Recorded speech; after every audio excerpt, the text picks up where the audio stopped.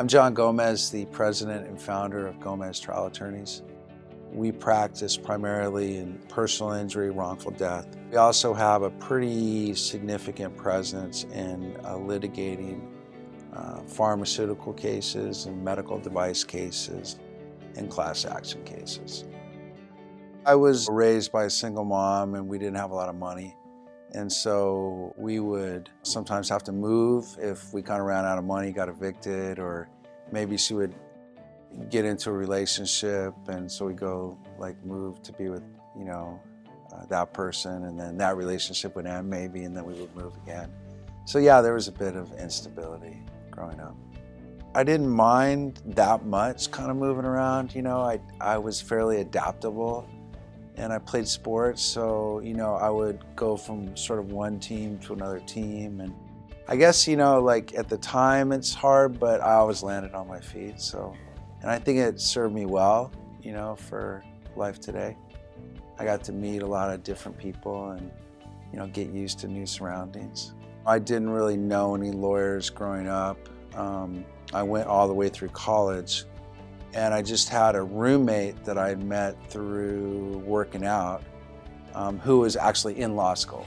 And so I kind of like saw what was going on with him and um, basically his life inspired me to take the LSAT and do well and eventually go to law school.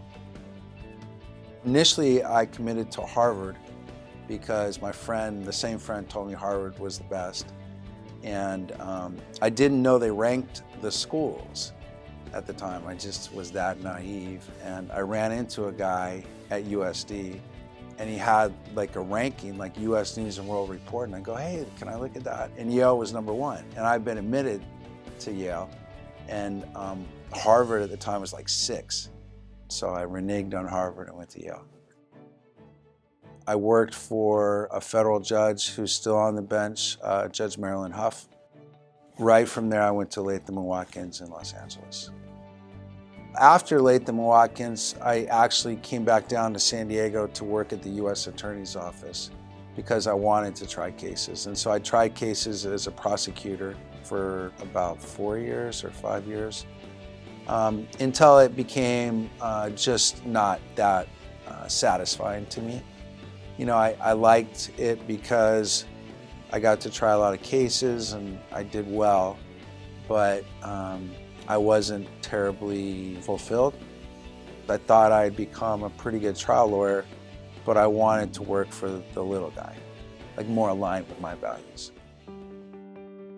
My strategy when I first went out is pretty much the same strategy and mindset that I have today um, and that is um, that we'll just try any case, you know, that we believe um, needs trying, you know, and we're essentially sort of fearless about that. You know, we have a sort of single purpose mentality, like in terms of our, you know, who we are, how we identify ourselves, you know, how we brand. It's uh, lawyers that will try cases. If I lose a few trials now, if we're not doing as well financially as you know I would hope.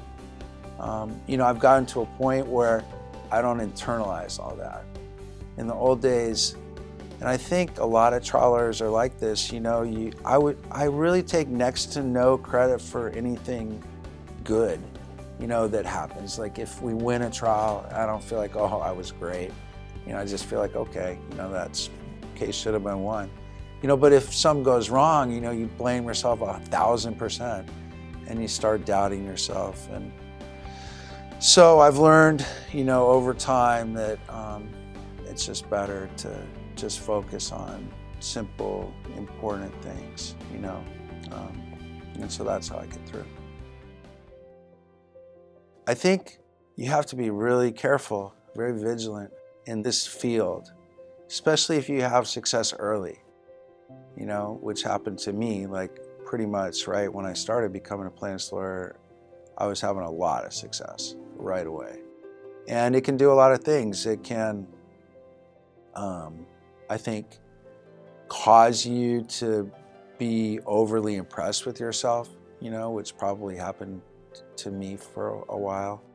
Um, you you have this you know, essentially unlimited money, you know, to do anything you want. And you can become very self in your conduct and behaviors, you know, that in the long term is going to be probably harmful to you and people around you.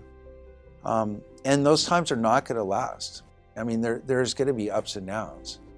There's every, you know, trial lawyer is on top of the world for a while and then they're not so on top of the world. But you, the first few times it happens, you think it's going to be just like that forever. And, and I think you can, um, you know, it's just something to be careful about.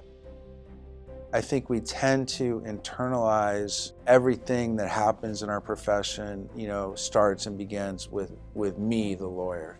And so when things don't go well, you think that you, the lawyer, has some problem or um, deficit. And, you know, I, I've come to a point where I know that's just not true, you know, that without question, if I just keep, you know, doing the right thing and keep to my core sort of vision, um, then over time things are going to work out pretty well for me. Um, and, and a lot of people go through that. A lot of people in this profession, you know, they're, they're trying to break through to the next level or, you know, they're trying to get their first million dollar verdict. You keep doing the very best you can, you keep learning and growing, and you keep treating people well. Um, over time, you're going to have success. And and success, you know, shouldn't be measured by looking at other people. If I've had my firm for 12 years. I just see like, you know, ebbs and flows. And so, um, you know, I feel like right now, you know, we just went through a little bit of a reorganization, you know, which has made us stronger and leaner. We have great lawyers here. Um, and I'm getting into some really exciting stuff, you know, some new litigation. I believe I'm a much better trial lawyer than when I started this. And um, I have zero doubt that the future is going to be great.